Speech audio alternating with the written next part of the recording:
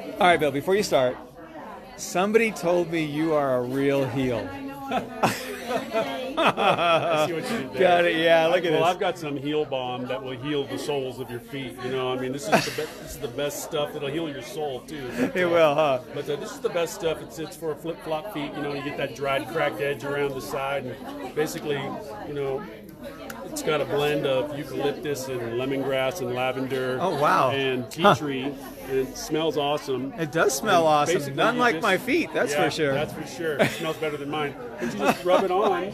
Yes. Rub it on, and then you put on a pair of socks so you don't slip because it's got a lot of rice bran oil in it and Okay. it's high vitamin E. And I always tell people, give yourself three days, and this stuff will take away the dry skin. So That's terrific. We, sell these for twelve. We carry them all summer long. Um, I carry them throughout the winter as people request them, but uh, this is great stuff. So Nice, Bill. But if you don't need heel balm, but you've got you need stuff for your hands, we've got our, our lotion line. Oh, yeah. I redesigned all our labels. Great. Tweaked our formula just a little bit. I added cocoa butter to this. And, Okay. now it's uh, a really nice, rich, moisturizing cream. Very so, cool. you know, if you look at it, it's, it's the lavender. It's nice and thick, you know.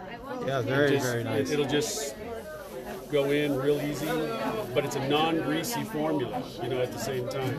Now, do you have samples down here people would try at the yeah, market? these, these are test. These are testers. They can come and try the testers if they want. Okay, great. But we sell them in these eight ounce jars. Okay. They go for fourteen fifty. The heel balm goes for twelve.